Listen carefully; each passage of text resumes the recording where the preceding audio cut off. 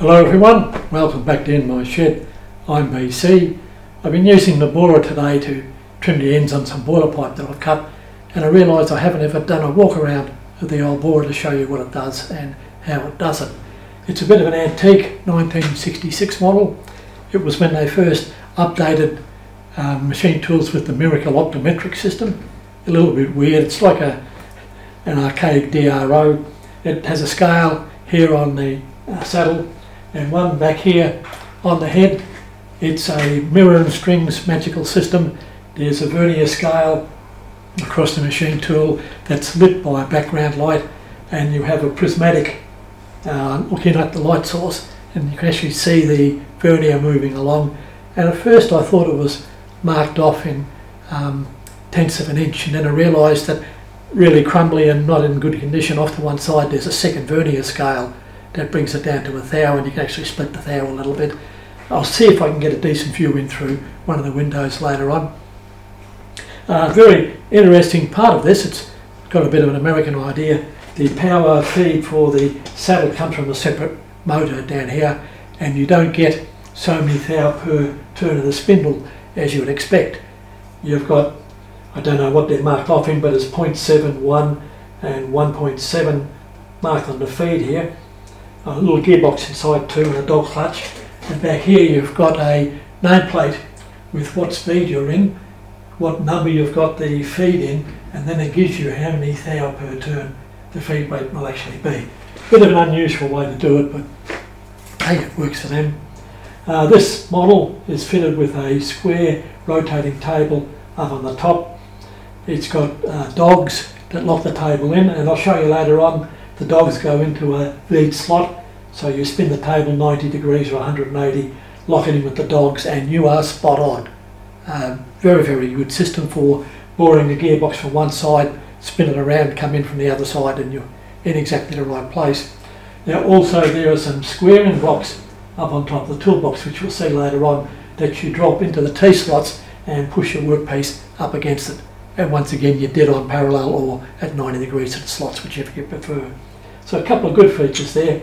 It's a very old electrical control cabinet. We'll zoom in later on.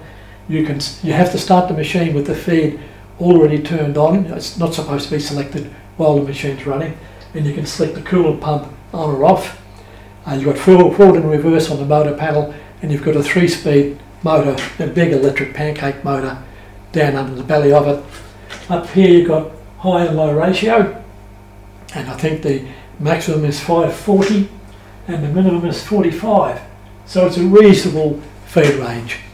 Uh, I bought it originally because I built my first boiler and uh, used the radial arm drill to drill the tube plate and then thought I'll have a look at how much longer a boiler I can do I can go about that much higher.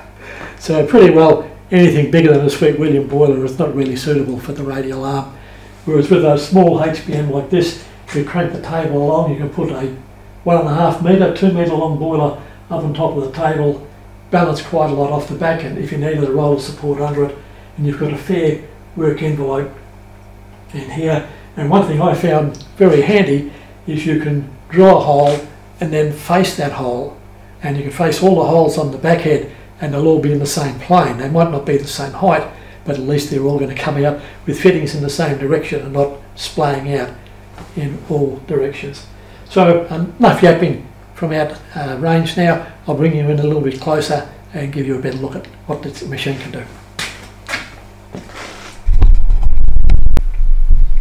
Okay, we're back in a little bit closer. I'll try not to get between the light and what you're looking at. Down the bottom here we have the electric motor to feed the table and here we have a traverse or longitudinal lever. It just works a Morse cable down to a reverse selector on the gearbox. So you can feed the table crosswise or you can feed it longitudinally. And here we have the manual uh, feed for table traverse. Selecting gearbox for your different feed rates with the neutral uh, saddle lock. Stop the saddle moving along. And here's a manual longitudinal wheel. I'll move you over a little bit further in a sec well, I've still got a reasonable view. I'll swing you up for a look at the head. On the top here is the high and low range selector and it's quite a big difference. It's about 3 to 1. I've got the facing head on it at the moment with the facing cutter. Uh, this slide here traverses across the facing head. There's a feed from the back that I'll try and get in amongst all the swarf to show you. It drives a quill shaft. There's a small bevel gear inside here and a half inch BSF bronze feed screw that turns inside a nut on this and runs the slide backwards and forwards. We have a little V-piece that can slide into that sliding piece when it's dead centered and uh, that makes it easy to put the snout bar on in the right place and we have a couple of clamping plates on the head so wherever you want to clamp the boring tool you can and get a bit more rigidity but you can also clamp it reasonably stiffly in the central position. Now, On the side of the gearbox we have a clamp either side that clamps onto this strip so you undo those clamps crank the hand wheel and the head goes up and down. It's got I think just over 12 inches or 300 millimeter vertical travel. It's got about 350 crosswise and I think 450 longitudinal. Uh, all up you can work on and face I think it's an 18 inch cube that it was built around. Okay, I'll move you up a little bit closer and have a bit more of a look. Okay, here's a zoom in on the facing head you can see the knurled knob uh, centre down the bottom. That allows you to slide a little V-block in and out of the main slide in the central position. So you very accurately come back to home. And a close-up on the high and low speed knob up there. I'll move over again and show you a bit more. That's a picture of the feed and speed chart. Uh, Self-explanatory, very well laid out. It's just high and low range uh, position of the motor switch, position of the table feed, the RPM you operate at, and it's 45 to 510, and how many thou per revolution of the spindle you get as an effective feed rate. So fairly good to use. Just to the left of that, we have this weird looking window. That's where you're looking to use that part of the optometric measuring system. I'll try and set the tripod up as a monopod later on put power on the machine and let you have a bit of a squiz in there. It's very interesting. Uh, very accurate means. I believe these were used to build a lot of machine tools actually and uh, gearboxes for trucks and uh, larger cars. So went really into the automotive industry.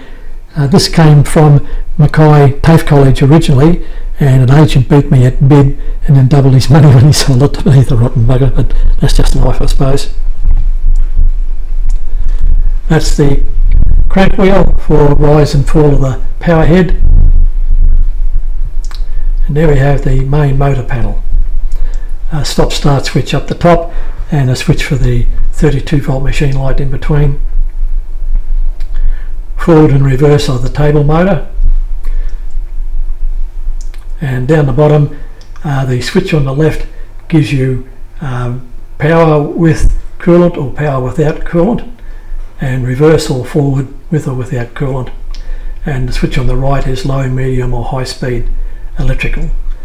it saves on gearboxes but when you're in low speed it doesn't have a lot of guts.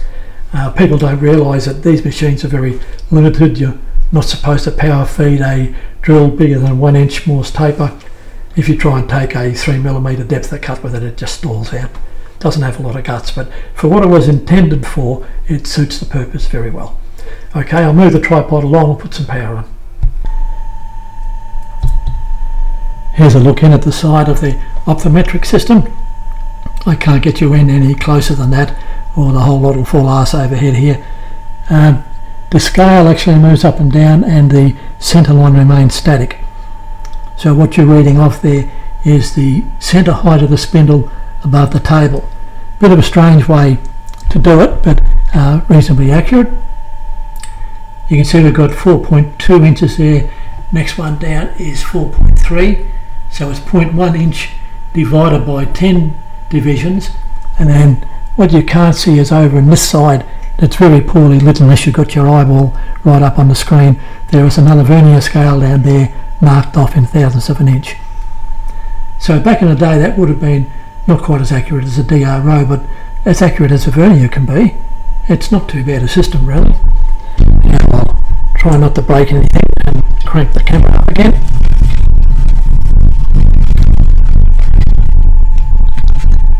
Up here we have the little lever for the forward and reverse on the surfacing head. That big knob there is for manually operating the surfacing and also just down there is a little wheel that whizzes around and shows you which direction you're moving in and how far you move. So it's got fairly simple controls. I'll turn you off again and show you the vernier for the table. Okay, here's a close-up look of the way covers on the spindle end of the carriage. Uh, these are covers that slide backwards and forwards with the carriage to try and keep the swarf off the ways. Quite a good idea. And this vernier there um, measures the table of the travel. That's the moving part and that's the vernier side. And it's quite easy to put a bit of a marker pen or something on there to show where you want to finish up. And to the left you can just see the bellows or concertina for uh, the feed shaft up through the head there. So reasonably well made machine although I did find quite a lot of inconsistencies when I pulled it apart uh, to repair the head. Uh, gear was stripped inside the main gearbox there. Okay, I'll take you uh, right down towards the tailstock end. Or, oh, first I'll show you the tailstock. That's a good idea.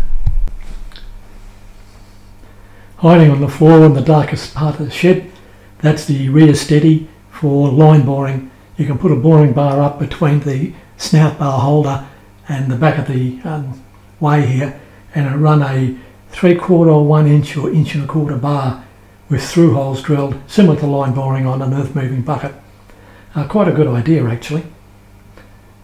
A very, very sturdy piece of cast iron. I think you could do some pretty accurate work with it. And down the bottom you can see the clamping knob to clamp it down onto the ways. So I'll put you up to the face where you look straight down the line of the borer. Here's one of the reasons I like the Kearns borer so much. It's just so easy to clamp things onto that tail. As long as you can fit it within that work envelope, and don't forget the head goes up about six or seven inches higher than that. Um, it's a slow working machine but it just makes it so easy to clamp things. Matter of fact I've realised now doing these boiler tubes I have to make some much larger strap clamps. But all in all sturdy, uh, good for what I'm doing but I wouldn't think an industrial machine. Move you around a bit more. Okay this is one of the squaring blocks I spoke about early, earlier and you can use this idea on any milling machine. A really robust piece of steel that fits neatly into the T-slot. You can bring your work up against it and it's going to be parallel to the slots or you can use your square off the back, put two of these up and then bring your vice or the workpiece up against the stops. So extremely rigid, a really good bit of work and very very quick for setup and also if I just lift the camera a touch you can see one of the V'd out sections in the table. So if you rotate that 90 degrees, the side blocks just drop straight into the V section there and you're accurate. Very, very well done. When I first bought the machine, I couldn't rotate the table, so I did my best to lift it and that took me a couple of weekends to free it from the sub table and it was just about a half a millimetre of rust all the way through underneath. It had never been off the machine. So it was a shit of a job to clean it but also I couldn't lift it all the way off the spigot. I had to try and clean underneath with about a three quarter inch gap. I got it to I think reasonable condition and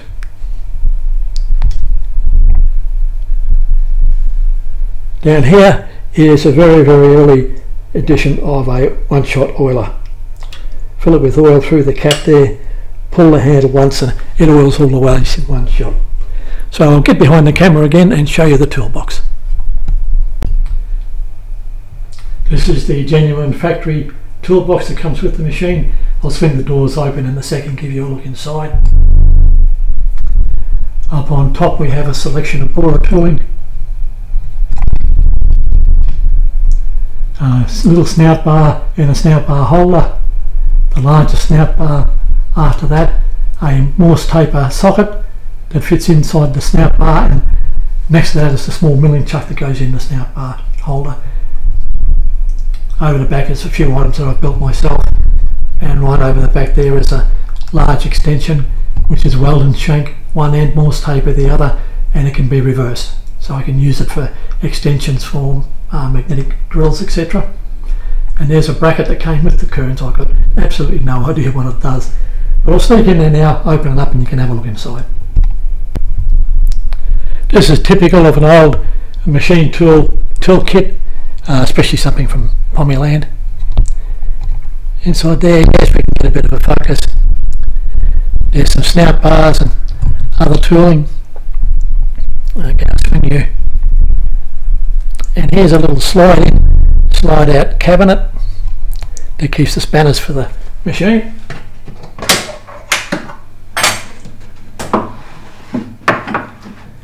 Complete with a little felt box to keep your open enders. Mr. King Dick spanners, which are quite a good pomegranate and your other keys for the machine. Well done.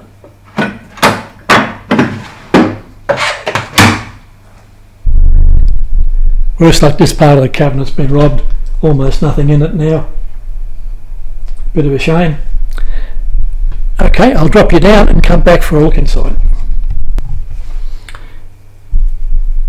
Now these machines are not just versatile because of what they can do, they're versatile because of the tooling that comes with it. So there's the three boring bars that go between the facing chuck and the tailstock.